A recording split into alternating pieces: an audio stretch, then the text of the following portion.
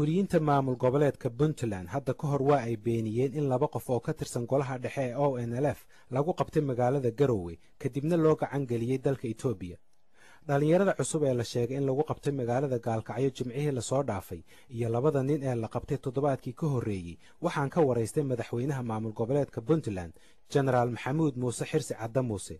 Waxaana ugu horrayn aan weydiiyey waxa uu ka og yahay dadka lagu qabtay magaalada gaalkacyo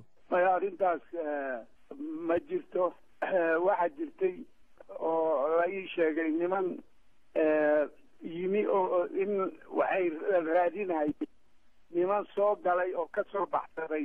Wixii ka dhacay dhuusa mareeb baan maqlay laakiin war cad ma hayo.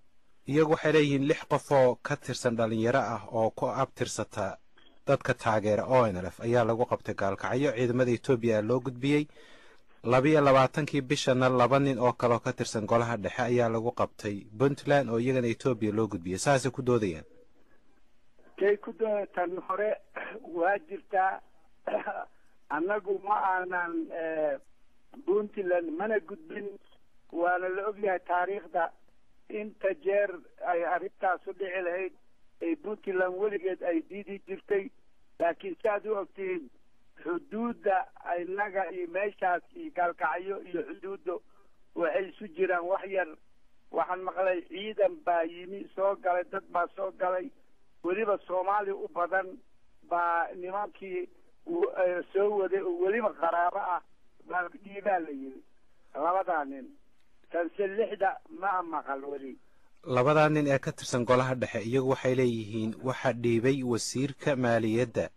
Gaagaab waa been weeye warkaas. Ayaama damba maalmihii horeaba la soo sheegay mana jirto. Wasiirka waa warsaday. Qolada nabadgelyada iyo security-ga iyaga waa warsanay. Waana la og yahay puntland mawqifkeeda. Ninkii dembiile ah annagu waa qabanaynaa puntland baana qabata.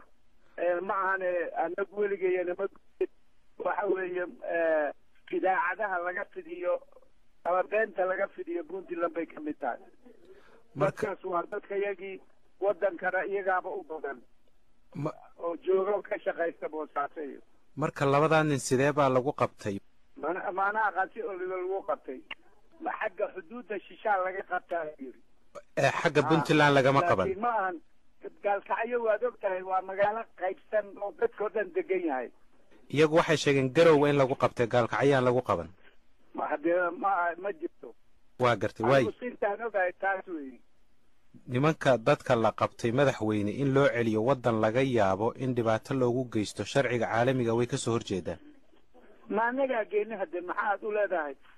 Annagu waad og tahay inta jeer aanu diidnay weligeedna lagama qaban. Tanna haddaan ku yidhi ma jirto. So maxaad jawaabta kaloo iga rabtaa taa